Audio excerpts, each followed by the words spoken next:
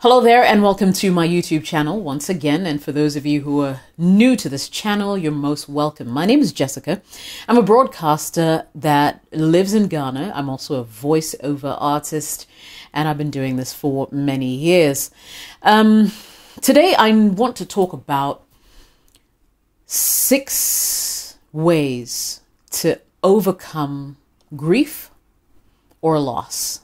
In a second, I'm going to get into it, but let me just mention that if you haven't subscribed to my channel, take a moment to do that. And don't just subscribe, please switch on the notification bell as well so that when I post new footage, you get a notification. And if it's the kind of thing you'd like to consume, come back here and watch all the exciting content that I'm putting together for you. All right. So, why do I think that I'm in a position to talk about grief? You know, there's one thing I'd like to say for starters, and it's that usually until you've really been in someone's shoes, you're absolutely clueless, completely clueless about how they truly feel. And this rang really true to me when my own mother died. Now, just to give you a bit of background, I was really close. I'm the last born of, you know, my family. And so I was really, really close to my mother. She was my everything. You know, she was my best friend. She was open. She was that person you could just go and visit. And next thing you know, it's nightfall and you couldn't even tell that time had gone so fast because she was always engaging us, always advising us, always praying for us. And my mother was my biggest cheerleader.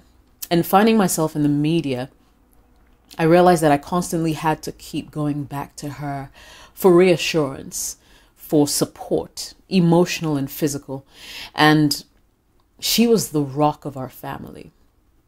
And so, up until the time when she died, I remember whenever I would see people, maybe friends of mine, lose family members or go through a traumatic experience in their relationship, a breakup, the loss of a cousin, an aunt, a father, I would reach out to them and really deeply feel sorry for them, express my sympathies, probably even show up for the funeral. But until I lost my mother, I'll admit I never truly understood their pain. Death is inevitable, and I can tell you this for a fact that you definitely will have your own experience with death. It's not an easy place to be and it can completely change your life.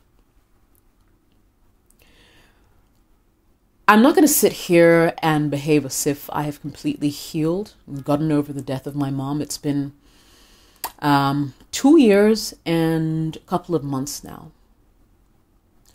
I will say that I don't cry as often as I used to, which was very often in the beginning. And in recent times, I've realized that when people mention her name or her memory, a memory of her comes up, I catch myself smiling, which was something that I could not do um, in previous years. Smiling not because I'm happy or I'd gotten over the fact that she was dead, but just smiling of the thought that she ever lived and she existed. I'm just trying to say that if you've never been there, you never quite will understand. However, I do know that there are people who are watching this video today who are freshly going through grief. And it could be going through a heartbreak because the relationship that you were in that you thought was going to last fell right through the cracks. It could be because you've lost a loved one, like I already said, a mother, a father, a sister, brother, uncle, grandparent, pet, because there are people who are really close to, you know, their animals or their pets as well. And you need to sort of figure out how to get over your grief, else you'll find yourself stuck in a dark hole for a long time. Take it from me. Now, there's no particular way to grieve. None whatsoever. There's no formula to it. And indeed, we all grieve grieve differently. But I believe that there are healthier ways to approach how you feel. And that's what I want to share with you right now. So, how exactly can you deal with the grieving process. Now, like I already said, there's no formula to dealing with this, but I've discovered a couple of ways that, or things that I find myself employing or using from time to time to help me cope. For when, for those days when I'm really, really down, for those days where I feel like I do not want to talk to anybody. I want to, I don't want to go on air. I don't want to pick up my phone. And I do have those moments. But I believe that if I'm able, if you're able to practice what I'm about to say, it would help you perhaps heal faster and get over your grief sooner, which I'm guessing is what you actually want to do. Point number one you need to learn to acknowledge your pain. Now, there are different stages of grief, you know. Usually, you'd go through the shock of the idea that the person is no longer present in your life and you probably wouldn't see them again. And then you go into a process of denial where you're like, no, they're not dead, they can't be dead. You know, and then there there are these there are all these steps that you sort of go through. But until you begin to actually acknowledge your pain and say to yourself that it's okay to feel the way I'm feeling. It's okay to not want to talk to anyone. It's okay to not want to pick up my phone for days. It's okay to not want to eat. Until you get to that point where you just allow yourself to feel all the pain you will not be able to get on your road to recovery. You need to acknowledge that pain. You need to realize it's there. Only when you acknowledge the problem is when you can start devising ways or solutions to end that problem or to solve that problem. So make sure you're acknowledging your pain. Secondly, Accept that grief can trigger unexpected and varied emotions. There, so when my mother died, the next thing I did was hop on a motorcycle. And I, I get it. Like, I've had people coming to me and telling me that, why are you riding? It's so dangerous. You're gonna die. Da, da, da, da, da. And the talk just keeps going on and on and on. But they don't really know the reason why I turned to writing. I knew better, of course. Um, I realized that hopping on my motorcycle allowed me the freedom from the pain that I was feeling. The pain was raw.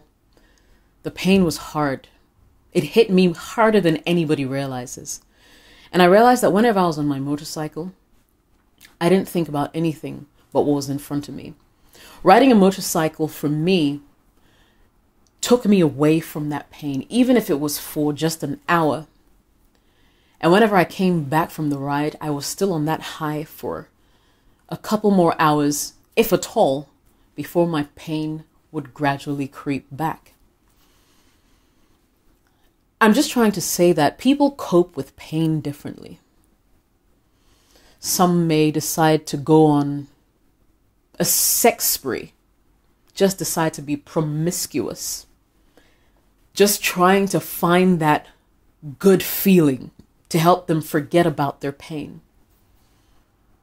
There's some people who whose relationships will suffer just because they're in pain. And let me say I was one of them you know. I got to a point where I started to push my partner away. And it wasn't even deliberate. I could not come to that place of love anymore. I didn't have any love to give when I was in such pain. And so I ended up pushing uh, you know, the person who really cared about me away. And there are people like that who also grieve in such a manner. And it's okay too. Usually the people who are closest to you should be able to help to stick by you and sort of help you go through all these motions because they will come. They're like waves. The pain ebbs and flows. It never dissipates. It just goes and comes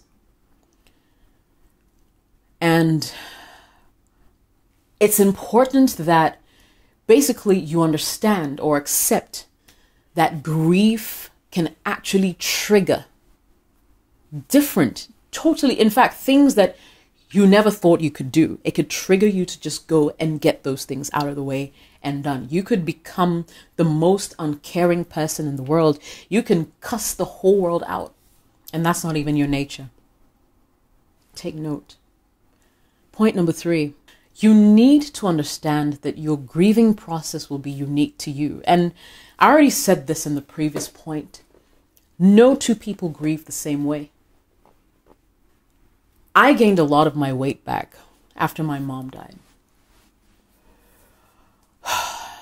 And it was simply because I turned to food. I found that I, I fell back into my old habits. I realized that food gave me comfort. And so I would mindlessly eat. I gained 16 kg back when my mom died. I'm on my way to losing it. I'm not even where I really want to be right now. But that was the way I grieved. I ate. I hopped on my motorcycle. And I shut out the people that I loved. It's okay. You're going to have to find a trigger sometime down the line something that's just going to make you switch and say, enough is enough. I can't continue to live like this. But whatever you do, just understand that your grieving process, the grieving process, will be unique to just you. Don't listen to people who are going to come in and say, oh, you know, you're supposed to grieve that way, or you didn't cry enough. It means you weren't really sorry, or you don't miss this person, except people grieve differently. So don't listen to any of that. Now, what you also want to do, fourthly, is to seek out face to face support from people who are close to you. At a point in my life, I had to speak to a counselor who would help me through the process. And a lot of people like I said, I have this brave front, and everybody thinks, oh, Jessica's fine. They hear her on air, everything's okay. She has no problems. But I was going through a major breakdown. I had to call in a counselor. I had to talk to someone who was neutral, someone who wasn't going to judge me, someone who didn't know my mother, and could really sort of understand where I was coming from, someone who had their own experience with grief. And this particular counselor had. He had lost his mom at a very young age. And he was quick to tell me what his own experience was like and how he managed to get over it. And he never judged me, you know. And I can imagine, I mean, I remember some of the things that I said to him that I probably would not say out loud to anyone. But I found myself saying that because obviously I was grieving, I was hurt, and I wanted to lash out. He would come and see me ever so often, and we would talk. He would just listen to me talk for minutes on end, and he would encourage me. So it's okay to ask for support. It's okay to, to, to reach out to people who you know genuinely care about you and ask for help from them to help you get through the process. Now, another thing I would say is it's really important that you support yourself emotionally by taking care of yourself physically. How did I do that? I love to work out. So if I was taking care of my exercise, and exercise would give me a, a boost in my mood, improve my mood, because of course the endorphins were kicking after my workout and I would feel invincible. I found myself going to exercise or turning to exercise a lot um, just to help me get by. Whilst I was exercising, I'd find myself listening to all these motivational messages about how I can do it and there's nothing impossible and it's not the end of the world. And I listened to these messages on end. You need to be able to take care of yourself physically. There's no point letting go of your life, being so deeply affected by your loss that you're literally losing your job as well. You need to find a way to boost your mood. And nobody can do it for you. And unfortunately, like people can only support, they can only talk to you. But if you're not ready to lift yourself from the pits, you're going to have issues. Major issues.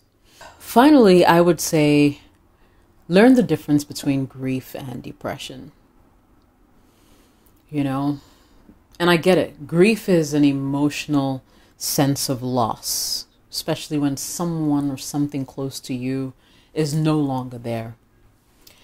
And for me, I feel that there's a really close, um, like this, this, it's almost very hard to, to, to differentiate the two, like between grief and depression.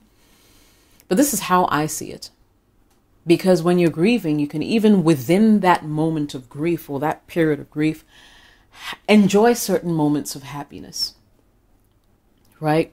Whereas with depression, it's chronic, it's constant. You cannot seem to get out of that hole. If you're getting into depression, then I will ask that you seek professional help. There are people out there who are trained to sort of help you process certain things. And I feel like if you reach out to them, they'll be able to give you guidance, give you tips on how to deal. But definitely ask for help. There's help out there. You know, even if you don't see a psychologist or some therapist who can help you through your depression, Talk to someone. Reach out. Don't suffer alone. You don't have to. There are people who care about you. There are people who want to listen. You know, seek those people out and ask for their help, just like I did.